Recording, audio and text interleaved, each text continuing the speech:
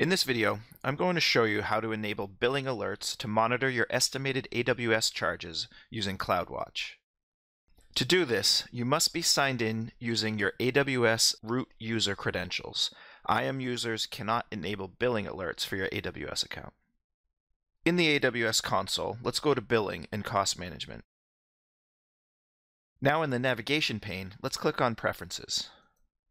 Under User Preferences, select Receive Billing Alerts.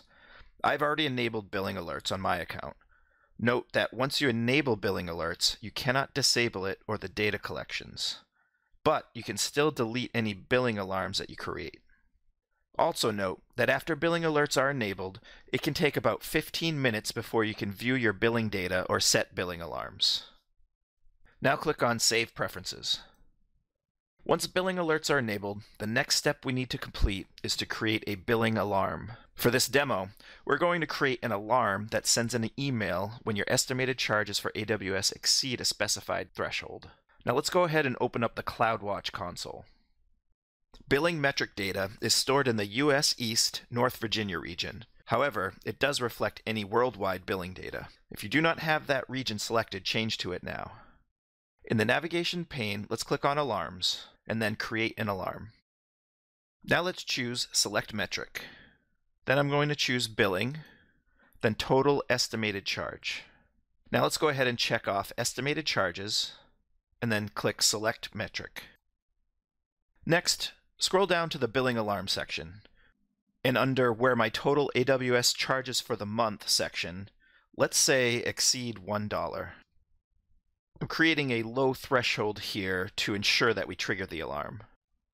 The graph at the top will show you the current estimated charges, which you can use to set an appropriate amount. For Send a Notification to, you can select an existing notification list or create a new one. If you create a new list, each email address will be sent a subscription confirmation email, which the recipient must confirm before they can receive notifications. I'm going to use an existing list here called Billing Alert, which contains my email address. The last setting you'll notice is treating missing data as.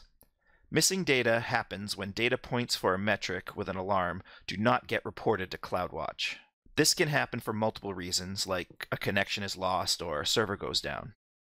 I'm just going to tell this alarm to treat my missing data as missing, so that data won't be considered when evaluating whether to change this alarm state. Now let's click on Create Alarm. Right now the alarm is in an insufficient state because it hasn't collected enough data yet. Once it has collected enough data, it should go into an alarm or OK state. After waiting a minute, let's refresh the alarm screen. Now that the alarm has collected enough data, we can see that it is now in an alarm state. That is because I purposely set my threshold low enough to ensure that the alarm gets triggered. If I switch over to my email account, I should see a new billing alert for my estimated charges. And that's how to enable billing alerts to monitor your estimated AWS charges using CloudWatch. Thanks for watching.